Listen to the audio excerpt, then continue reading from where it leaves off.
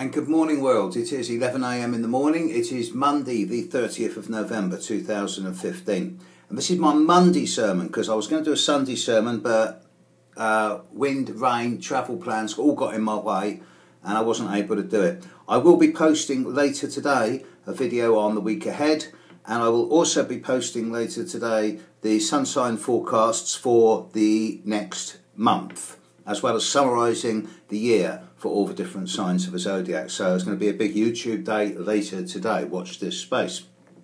But at the moment, the moon is in early Leo, and um, I'm afraid this video is primarily about the ongoing conflict against Islamic State and various political stances against it.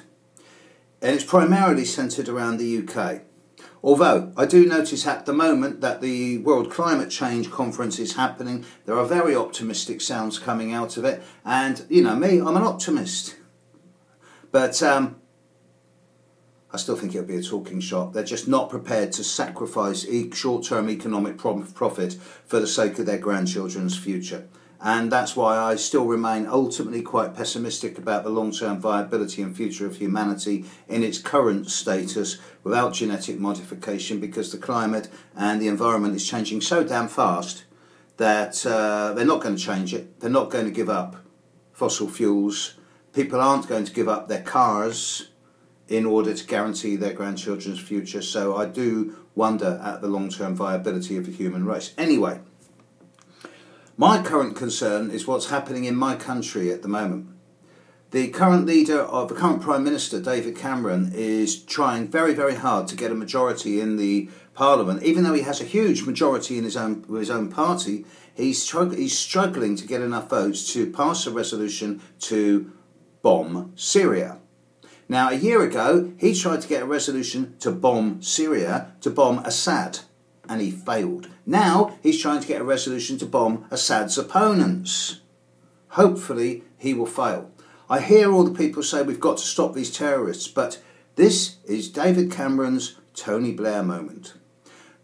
Many of you may remember that years ago, Tony Blair, hand in hand with George Bush, probably praying with him, we don't know, but we believe so, and um, Blair was influenced by the right wing American hawks, and despite, despite almost nearly 10% of the entire population of this country going on a single march in London, despite 3 million people going on a march to oppose the war in Iraq, Blair deliberately chose to take us to Iraq. And Blair is now remembered, despite all the good things that his government did, Blair is remembered solely as a liar because he lied.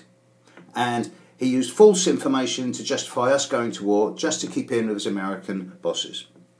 And um, now Cameron is the same. This time, not in kowtow to the American uh, right wing military machine because that's not the way it is anymore in America. I really don't get why Americans seem to have a sort of spectator sport of, of really hating their president, regardless of um, um, what political party he's he is, because it just seems it's, it's they just do.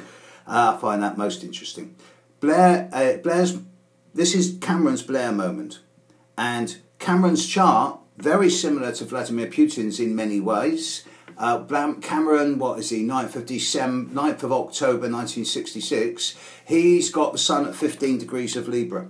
Putin has the sun at 13 degrees of Libra.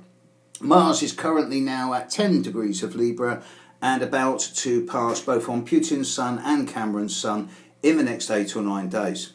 And if Cameron were to call for a vote now and be defeated, which is probably going to happen, because despite all the politicians wanting to go to war, the public do not want to see yet more bombs. The, the, the, the, official spin is that if we drop bombs on the terrorists, then we will stop them coming to Britain and creating further terrorism acts. No, it won't.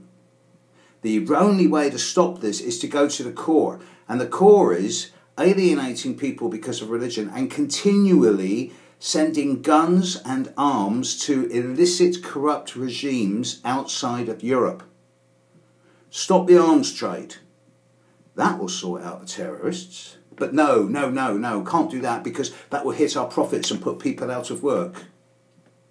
Once again, we're saying to the same route as why climate change isn't going to get sorted out because it's not profitable.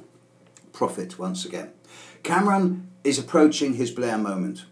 Cameron will find out within a week and a half. And, and, and as, as a few of you have reminded me recently, I've been predicting that December 2015 will be Cameron's moment, one way or another.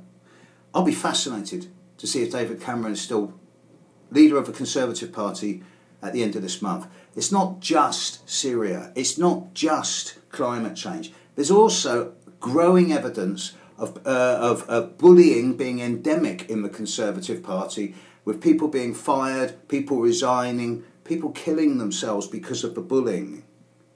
Yet no one's prepared to take responsibility. All the people are trying to stop, uh, pass the buck up.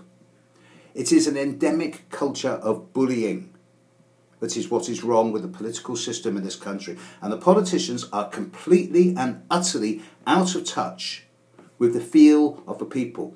Despite all the media and despite all the politicians, many of the people in this country actively support the leader of the Labour Party, Jeremy Corbyn, even though he's made out to be a left wing loony. But they support him in his stance saying, do not bomb the terrorists, do not bomb ISIS. Instead, why can't we send in Mossad or the SAS or, or the Green Berets? Why don't we send in specialist people just to take out the real nasty people and let the rest of it dissolve? Bombing solves nothing apart from creates more and more people willing to martyr themselves and become terrorists.